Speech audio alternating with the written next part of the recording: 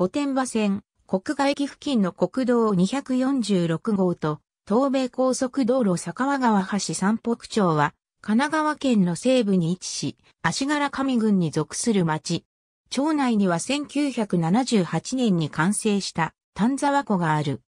横浜市から西へ直線距離で 50km、神奈川県の最西端に位置し、山梨県、静岡県と境を接する。面積は224.70平方キロメートルで、神奈川県の自治体の中では、横浜市や相模原市に次ぐ広さとなっている。町域の大半は、丹沢山地であり、丹沢大仙国定公園に指定されている。町のほぼ中央には、丹沢湖があり、キャンプやハイキングなどの行楽、観光のために、延べ人数にして、年間約150万人以上訪れる。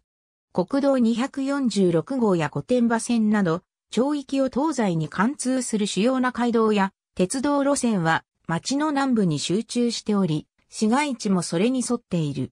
町内に東名高速道路のインターチェンジはないが、他の幹線道路と同様に町域を通過している。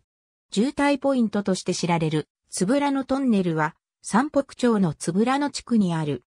明治時代、東海道本線の開業とともに、交通の要衝として栄えたが、同線が丹那トンネルの開通により、経路を変更し、御殿場線となって、以来、鉄道中継地としての役割は低下した。町は、森林セラピー基地に認定されている。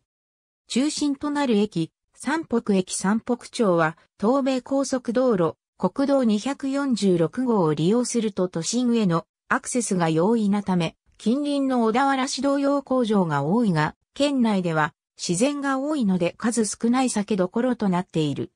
またダムがあることから水力発電所も多い。他小規模なもの数箇所三北町は県内を代表する日本酒の産地である。以下のような銘柄が生産されている。中川の放棄杉有神渓谷。ありがとうございます。